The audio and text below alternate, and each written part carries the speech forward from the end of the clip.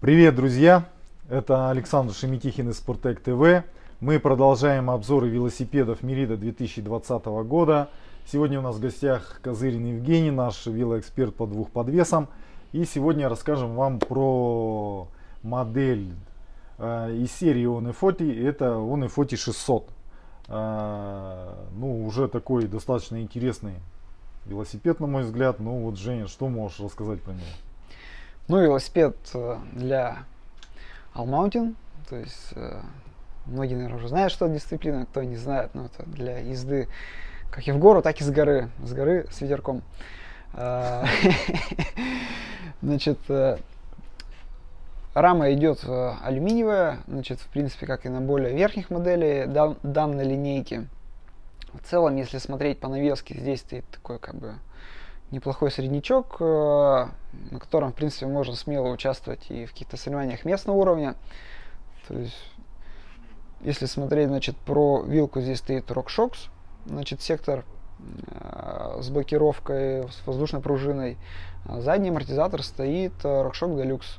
То есть у него также есть блокировка, ну, регулировка отскока.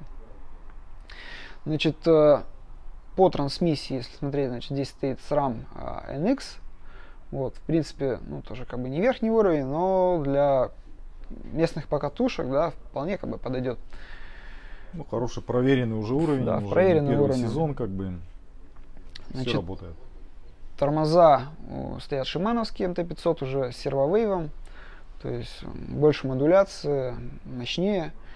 Значит, э, колеса стоят, э, значит, уже есть возможность установить без камерку, то есть они подготовлены к этому, подготовлены как покрышки, так и обода.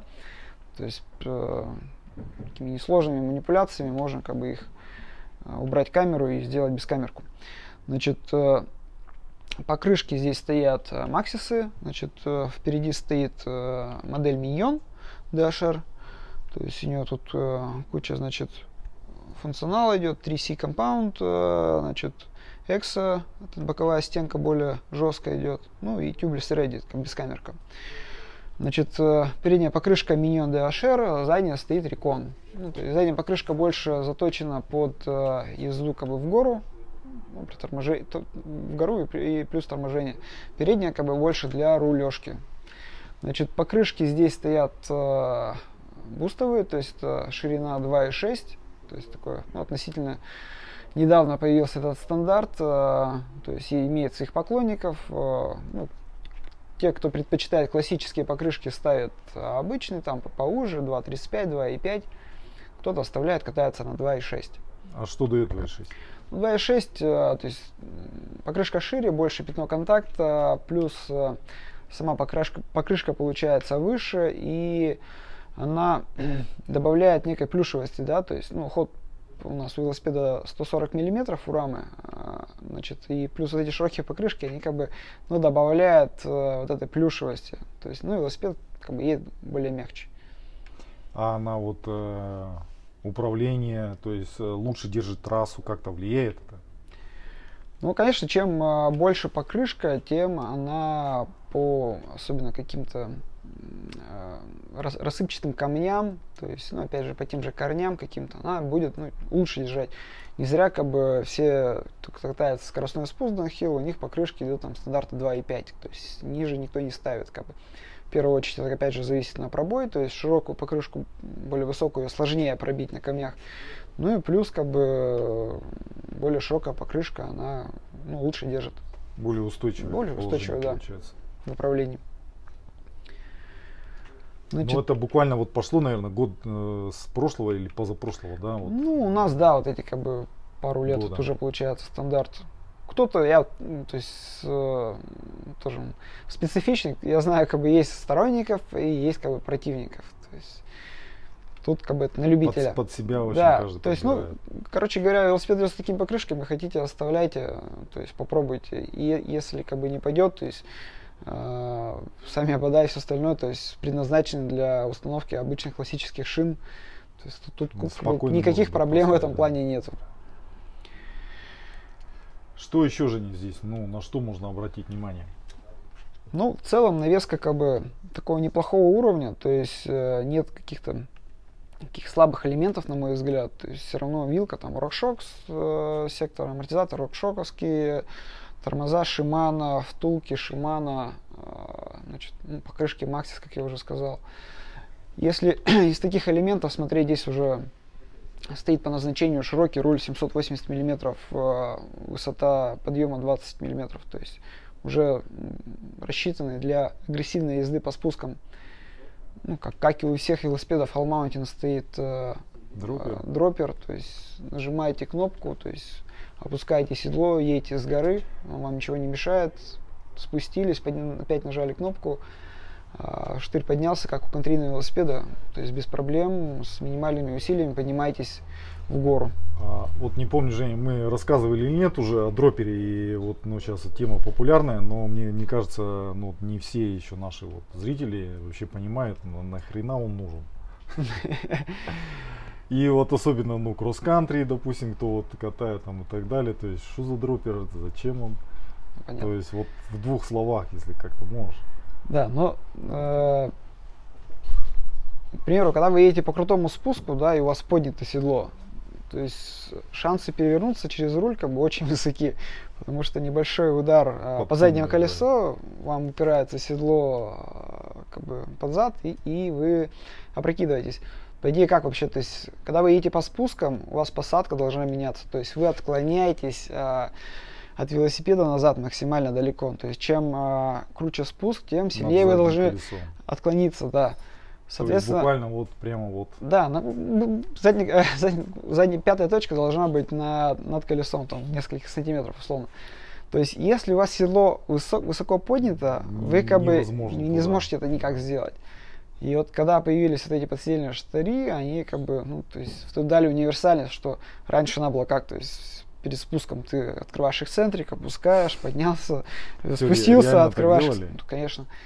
Вот. Сейчас э, вот появилась, условно, эти штыри с кнопкой, нажал, все поднялось или опустилось. То есть не зря сейчас и в кросс-кантри на каких-то трассах Начали, гонщики да. начинают использовать. Там понятно, что ход он как бы другой, но этого как бы достаточно.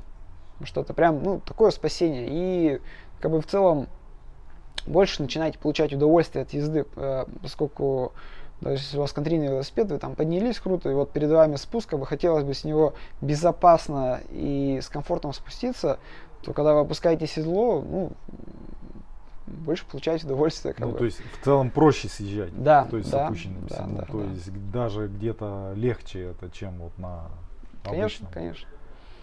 Как сказать, личный опыт у меня есть. Э, по спускам, конечно, на кросс-контрийном, на серьезных спусках это ну, сложно, сложно и да. опасно. И так как бы. Ну да, такой золотой стандарт именно Mountain Enduro велосипедов. Понятно, что в скоростном спуске в гору не ездят, у них седло базово опущено как бы вниз. Uh, то здесь, поскольку у вас сменный вид то езды, так, да, так, то так, то так, то, то вот, соответственно, вот эти подседельные штыри и устанавливаются. Uh, нужно пробовать. Я, я э, эту тему, конечно, не катал. Для меня опыт с дроперами ни разу не ездил. Вот ну, надо пробовать. желание, конечно, попробовать. Да преимуществ, да, это 12-скоростная трансмиссия.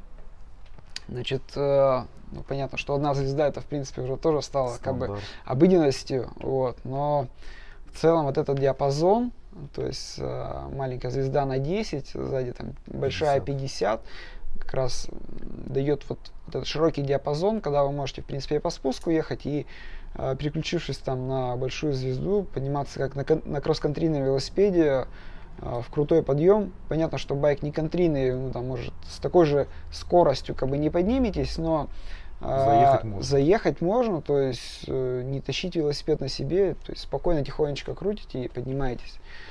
Вот. Это как бы плюс такой большой. Ну да. Кому бы рекомендовал вот э, именно эту модель?